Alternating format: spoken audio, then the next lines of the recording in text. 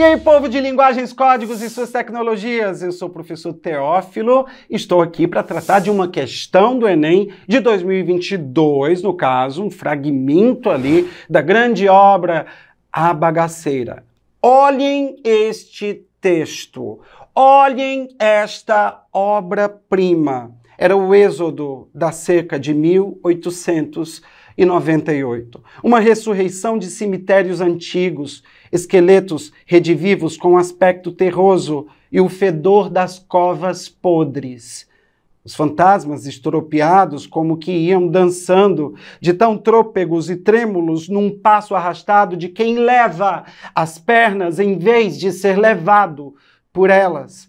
Andavam devagar, olhavam para trás, como quem quer voltar. Não tinham pressa em chegar porque não sabiam aonde iam expulsos de seu paraíso por espadas de fogo, iam ao acaso, em descaminhos, no arrastão dos maus fados, fugiam do sol e o sol guiava-os nesse forçado nomadismo. Adelgaçados na magreira cômica, cresciam como se o vento os levantasse, e os braços afinados desciam-lhes aos joelhos, de mãos abanando. Vinham escoteiros, menos os hidrópicos, de acite consecutiva à alimentação tóxica, com os fardos das barrigas alarmantes. Não tinham sexo, nem idade, nem condição nenhuma. Eram os retirantes, nada mais. Gente, essa obra interessantíssima. Ah, quando começa esse fragmento, você acha ali que é um conto meio surrealista e depois você, você descobre que aquela leitura é sobre os retirantes, não é? Retirante, romance, seca. Isso nos remete lá para os anos 30 da literatura brasileira, do regionalismo de 30, dos romances é, da seca, como é dito, né? Vidas Secas, Graciliano Ramos, o 15, Raquel de Queiroz. Vamos à questão. Vamos lá. Os recursos composicionais que inserem, atenção, Olha a palavra importante: recurso composicional. Guardem isso. Os recursos composicionais que inserem a obra no chamado romance de 30 da literatura brasileira manifestam-se aqui no ou na. Então, os recursos de composição que são característicos dessa geração de 1930, gente, se manifestam aqui. Aqui onde? Aqui no que a gente leu, aqui no ou na.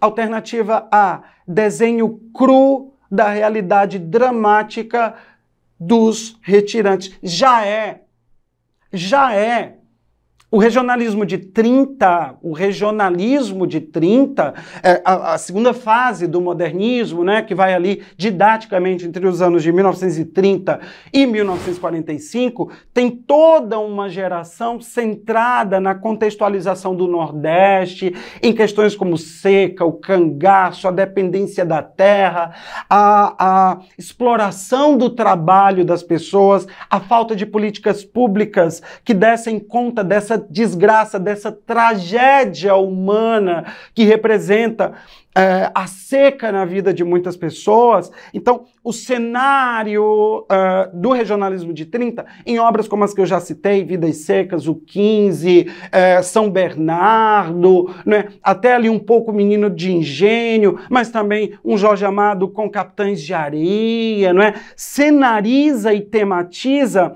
criticamente a toda uma vinculação também política e politizante dessas obras que tem como uma função em termos estéticos e sociais de fazer uma denúncia eh, de representar essas vidas concretas do mundo real que passam por essas agruras. Né? Então, há toda uma temática e uma discussão eh, sobre isso. E, de fato, se manifesta essa geração de 30 nesse fragmento por essa caracterização, esse desenho cru, gente, realista, não é?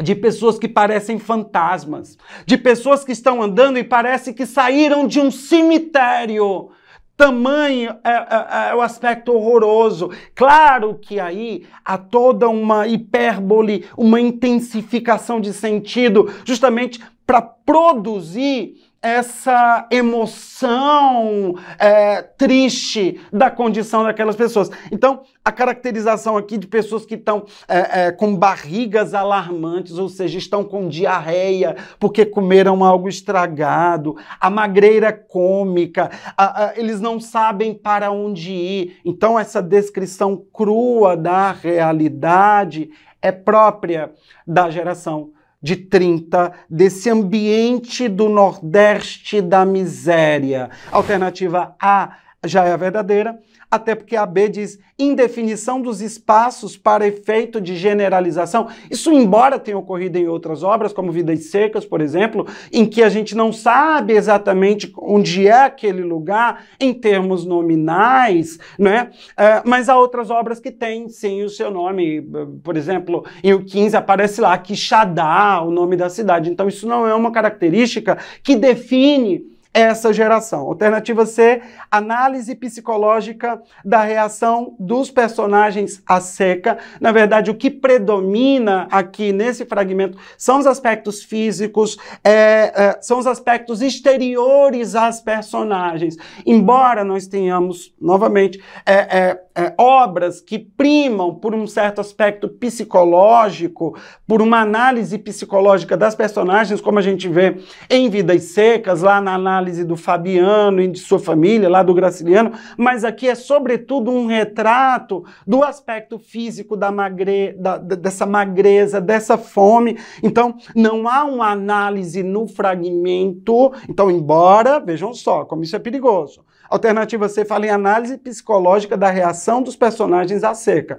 Isso é uma característica muito geral da, do regionalismo de 30, em algumas obras, sim, mas nesse fragmento, não. Alternativa D, engajamento político do narrador ante as desigualdades, isso não é uma característica. Eu posso ter até um engajamento do autor ideologicamente. Agora, o narrador, ele apenas apresenta esteticamente aquilo, mas não há é, é, especificamente um engajamento político e muito menos um engajamento partidário dele, não, é? não há ali uma, uma, uma, uma crítica política é, é, é, partidária, digamos assim. Então não há esse engajamento. A alternativa é contemplação lírica da paisagem transformada em alegoria. Quem faz isso é romântico, gente. Contemplar a natureza, pelo contrário, aqui é um ambiente de miséria, de seca e de desgraça. Não é essa contemplação lírica do arcadismo, da, da do, sabe, do José de Alencar. A alternativa correta